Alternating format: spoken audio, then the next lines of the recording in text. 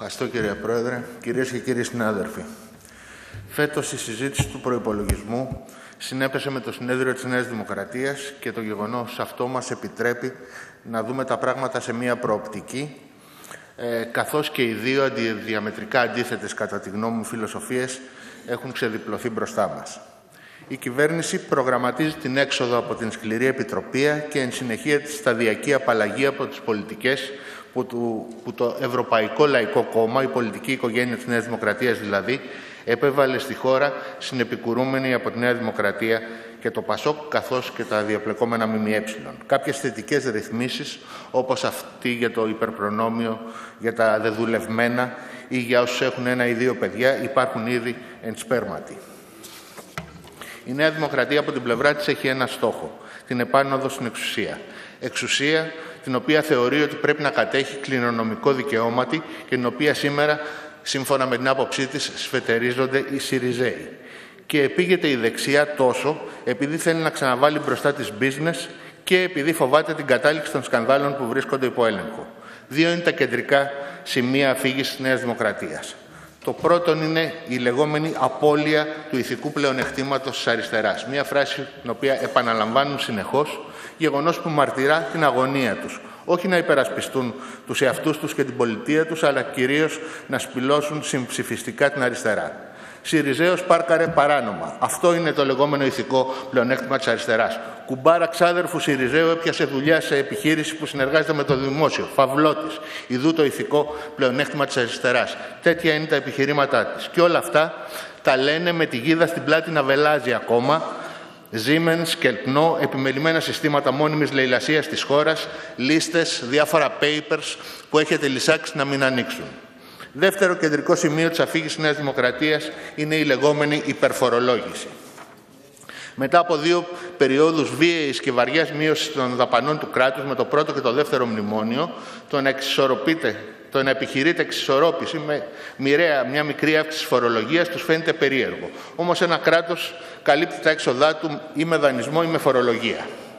Προσπαθούμε να συντηρήσουμε ένα ελάχιστο αξιοπρεπές επίδομα στις συντάξεις, στις δαπάνες για τα νοσοκομεία ή για τη συντήρηση των πυροσβεστικών αεροπλάνων και την ίδια την ύπαρξη πυροσβεστών, για να υπάρχουν νοσοκομιακά, για να πέφτει καμιά άσφαλτος στους δρόμους και να μην είναι όλο, όλο λακκούβες, για να υπάρχουν βιβλία στα σχολεία, για να πετάνε τα αεροπλάνα. Για όλα αυτά χρειάζονται χρήματα. Και μάλιστα μετά από την κατακρίμνηση που έχουν ήδη υποστεί και στα χαμηλά απόλυτα μεγέθη που έχουν φτάσει οι δαπάνες αυτές τα τελευταία χρόνια.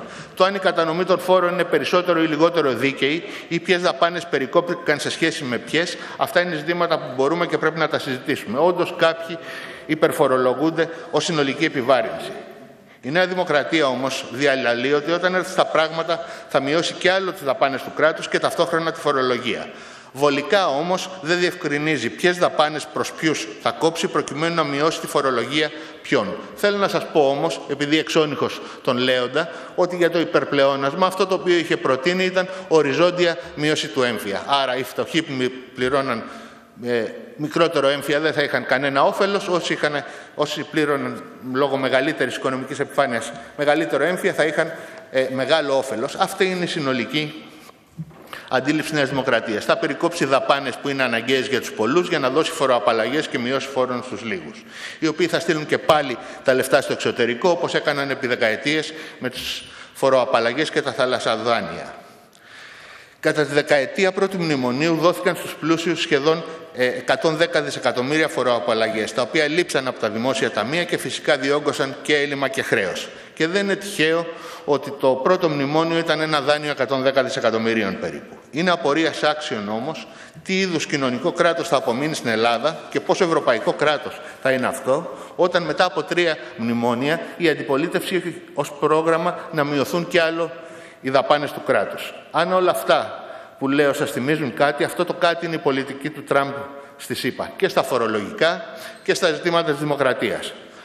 Ακούμε συνεχώς, επαναλήφθηκε με όρους αμπελοφιλοσοφίας και στο συνέδριο της Νέας Δημοκρατίας, ότι ο Κυριάκος Μητσοτάκης θα καθαρίσει τα εξάρχεια σε μερικές εβδομάδες. Χρησιμοποιείται ένα λεξιλόγιο πολέμου, ένα λεξιλόγιο εισβολής σε εχθρική χώρα. Δηλαδή, πώς θα σας φαινόταν αν μια κυβέρνηση έλεγε ότι στο κολονάκι Φερρυπίν έχουμε πολλές διευθύνσεις εκπροσώπων offshore και λαθρεμπόριο κοκαίνης, ας εισβάλλει η αστυνομία σε δρόμους και σε μαγαζιά διότι όσοι εκεί είναι εκεί είναι ύποπτοι, όσοι συχνάζουν εκεί είναι ύποπτοι και όσοι τους υποστηρίζουν είναι, είναι επίσης ύποπτοι, άρα όλοι μέσα. Δεν ξέρω πώς θα σας φαινόταν αυτό, μάλλον θα σας φαινόταν ανήκουστο. Άρα μην το προτείνετε για άλλες συνοικίες Αθήνας. Ιδίως όταν όλοι ξέρουμε ότι η πολιτική αφήστε την αστυνομία να κάνει τη δουλειά της στα εξάρχεια ή η πολιτική παραγγελία του πατρός Μητσοτάκη παλαιά προς τους αστυνομικούς «Εστείς είστε το κράτος» έχει αφήσει ματωμένο αποτύπωμα. Δύο 15χρονους, τον Καλτεζά και τον Γρηγορόπουλο, δολοφονημένους εν ψυχρό από αστυνομικούς στα εξάρχεια. Οπότε αφήστε του λοντορισμούς γιατί κάθε φορά που βρυχάτε το κράτος δεξιάς μυρίζει ανθρώπινο αίμα. Η Νέα Δημοκρατία δεν είναι λύση πρόοδου για τη χώρα. Είναι λύση οπισθοδρόμησης, μυσαλλοδοξίας, βαρβαρότητας και κοινωνικού δαρβινισμού. 20 δευτερόλεπτα, κύριε Πρόεδρε. Αυτό ο κόσμος το γνωρίζει παρά την προσπάθεια των διαπλεκόμενων ΜΜΕ να παρουσιάσουν ως ιστορικό ορίζοντα το 2015. Η Ελλάδα όμως δεν φύτρωσε ξαφνικά το 2015, ούτε η ηγεσία της Νέας Δημοκρατίας προέκυψε από πολιτική παρθενογέννηση. Η Ελλάδα είναι μικρή χώρα και όλοι γνωριζόμαστε. Ο ΣΥΡΙΖΑ συνεχίζει την προσπάθεια εξόδου από την κρίση με φιλοδοξία να μην αφήσει ούτε έναν πίσω. Ο προπολογισμό αυτός είναι ένα βήμα προς αυτή την κατεύθυνση και προφανώς τον υπερψηφίζω. Ευχαριστώ κύριε συνάδελφε. Συνάδελφος κυρία Άννα Μισέλα Σιμακοπούλου έχει το λόγο.